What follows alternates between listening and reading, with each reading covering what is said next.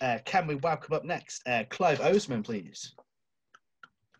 Hello.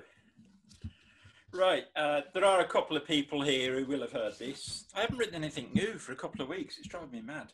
Uh, so, yeah, um, I do have to apologise before I do this poem. Um, there are a lot of things in life that I'm not very good at. And two of those things are impressions and accents. And I'm going to be doing both in this poem. So many apologies. It's called Open Mic in Aston. Picture the scene. A cold, wet Thursday night. There's an open mic at a grotty pub in Aston. And who should rock up but Her Majesty the Queen? Dressed in ripped jeans, trainers stolen from George at Asda, and a t-shirt with the slogan, he's no son of mine. She's driving an Eddie Stobart truck, which she uses to ram cars out of her way to claim the best parking space. She covers her head with a Primark bag to protect herself from the rain. She walks into the back room where the action is and steals the mic from Simon Armitage, who popped in to test his new limerick and have a swift drink and maybe a spliff.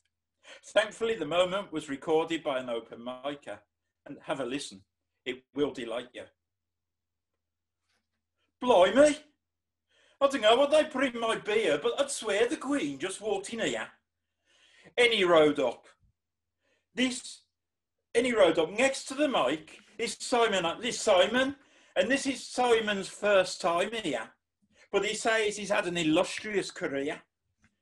He's had severe writer's block, but now feels ready to rock. So please give it up for Simon Armitage. uh, thanks.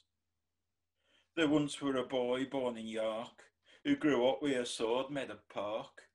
It stood up by its stem, so he panicked and then tried to puncture it with a fork. Get out of my way, Armitage! You're my fucking laureate, so do as you're told and sit down! And that was rubbish!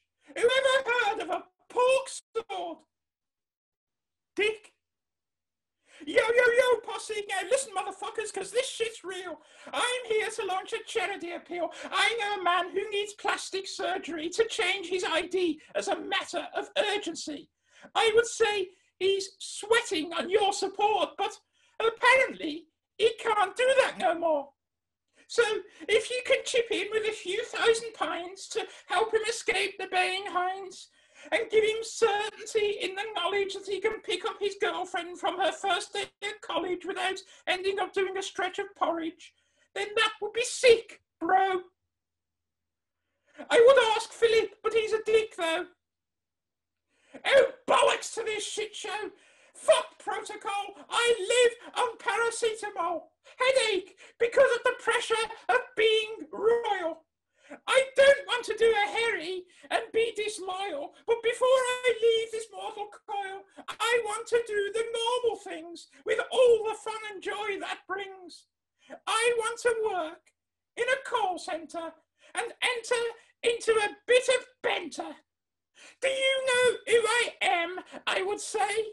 Now, wouldn't that make some commoner's day?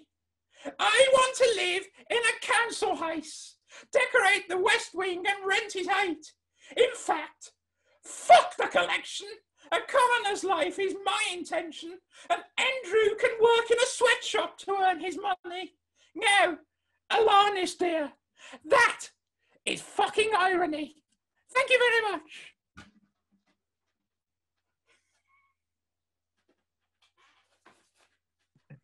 Thank I you. hope your throat. I hope your throat's all right, Clive.